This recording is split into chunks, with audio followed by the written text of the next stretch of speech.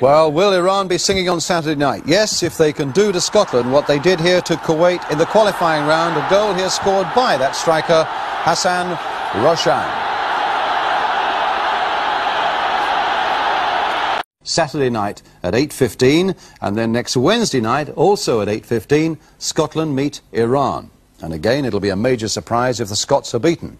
Iran of course are an underdeveloped football nation but at least they had the benefit of playing in a weak qualifying group but nonetheless they are there in Argentina. Back home Iran have a training camp where they've been preparing for the World Cup for a year. Naturally enough, it seems under the gaze of security guards. It's a setup that many managers would envy. This is their manager, Heshmat Mohajerani, a 38-year-old former police officer.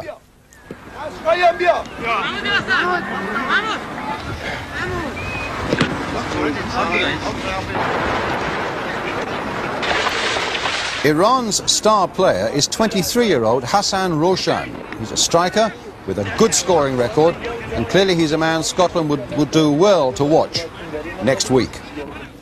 Hassan lives in a fine new home in Tehran. Inevitably, there are the football trophies on display, and there too is his lovely wife, Fereshte.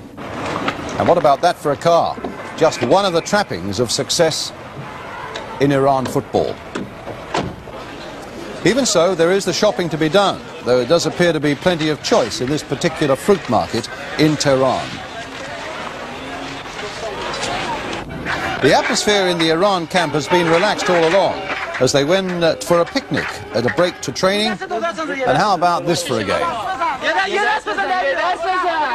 Could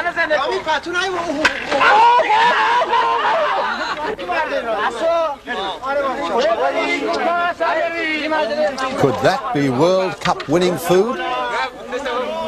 خیلی روزا رفته ولی اینقدر دینی نکرده اینقدر دینی نکرده. می‌ذاره میره Well, will Iran be singing on Saturday night? Yes, if they can do to Scotland what they did here to Kuwait in the qualifying round. A goal here scored by that striker, Hassan Roshan. Saturday night at 8.15.